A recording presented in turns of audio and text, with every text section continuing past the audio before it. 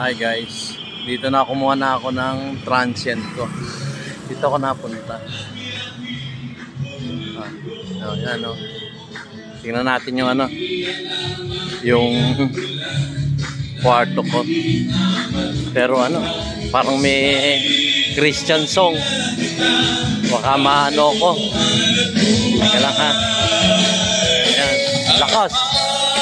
Lakas ng ano.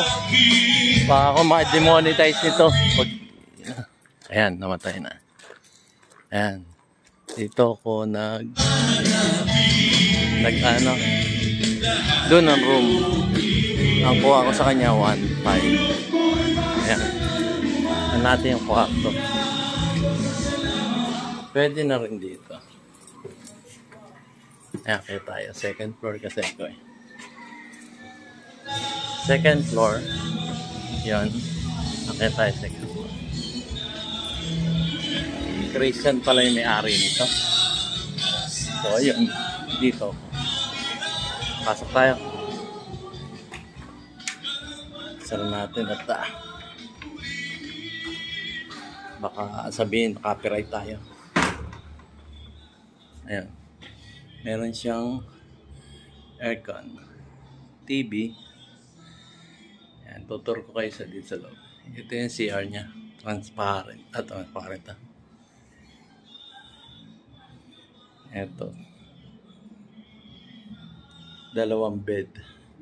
1.5 lang to. Eh, since na nag-iisa naman ako. Ito naman CR. Simple lang. Ayan. Maganda naman, malinis. Tapos ito, mirror. Mirror, mirror on the wall. Who's the prettiest something mo? Baliw. Ayan. Ito, dalawang bed. Since nag-iisa ako. Mamaya tutur ako. Island hopping din sa 100 Island. So, guys, ito nga. 1.5 nakuha ko. Mamaya bibigay ko sa inyo yung detalye. Yan. So, ngayon, idlip muna ako. Mararating ko lang kasi. Kausapin ko yung ano ko. Sabi niya sa akin, bangkara 1.4. Good for 5 persons. Ayun. So, 5 persons. Eh, nag-iisa ako.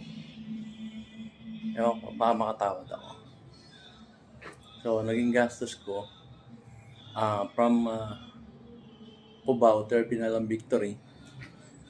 Ang regular fare doon, 508. Tapos, pagdating dun sa terminal, sumakay akong tricycle. Ang pamadaling araw daw, ang rate nila, 150. Sa umaga, 80 lang. Tapos nakarating ako din sa transient.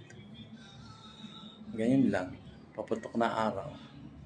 Tapos ang kuha ko dito sa room, 1.5. Kung ano oras ka pumasok, yun din ang oras ng labas mo. Like for example, umaga na ako pumasok dito. So, umaga na rin ang labas ko tomorrow morning. Tapos sabay uwi na rin siguro. Iyaano ko lang, mag uh, tour lang ako. One for ang bangka. Entrance, titignan natin mamaya. Okay guys, pinakita ko lang sa inyo yung titigilan ko.